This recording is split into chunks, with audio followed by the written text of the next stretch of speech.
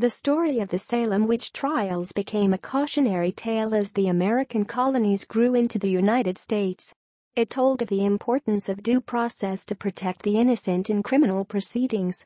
It told of the danger of intertwining church and government. It showed what happens when fear and mass hysteria rule. Salem, Massachusetts, Halloween is always in season here, and in October things really get crazy. A street preacher stands on a step stool on Essex Street, condemning the signs of evil all around. A member of the Satanic Temple stands next to him, silently mocking in protest. A monster named Joe blows a sweet sax on the next corner. Barkers pitch haunted houses and ghost tours, seances and psychic readings.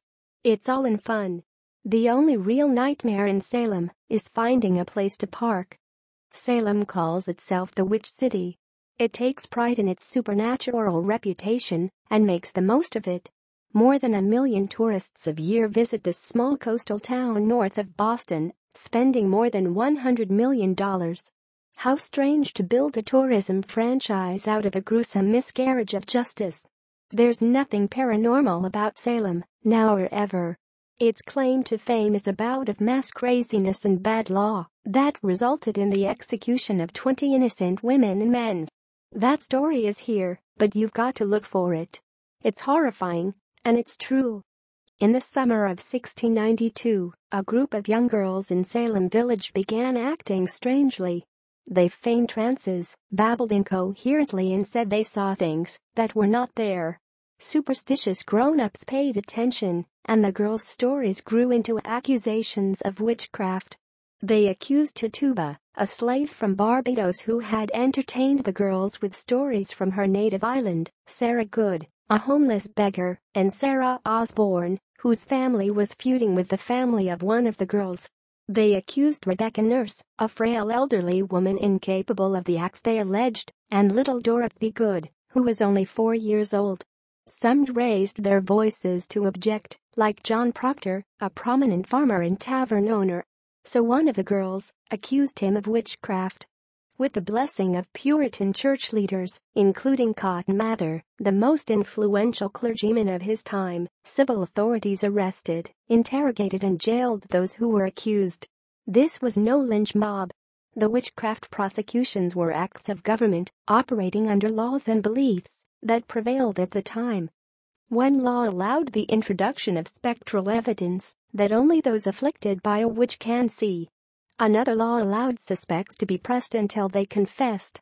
So Corey Giles was tied down, sandwiched between boards, as stones were piled on top, and officers of the court demanded he confess. His last words, uttered before the stones broke his ribs and crushed his lungs, more weight. Then the fever broke, the governor shut down the witchcraft court, and most of those still held were declared not guilty or pardoned. In the years to come, some of the accusers and court officers apologized for their part in the prosecutions.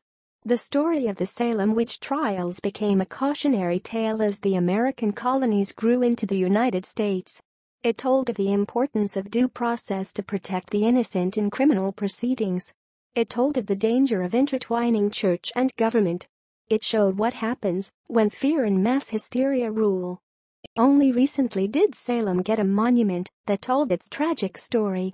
In 1992, on the 300th anniversary of the witch trials, a memorial garden was dedicated next to an old graveyard steps from the downtown tourist attractions. Out of its rough stone walls protrude 20 shelves, each engraved with the name of someone killed by Salem's madness. The flowers left each day on the shelves are testament that their stories are still being heard. A couple of blocks away, tourists line up to have their pictures taken with Salem's newest attraction, a nine-foot statue of Samantha, the witch and bewitched riding her broom.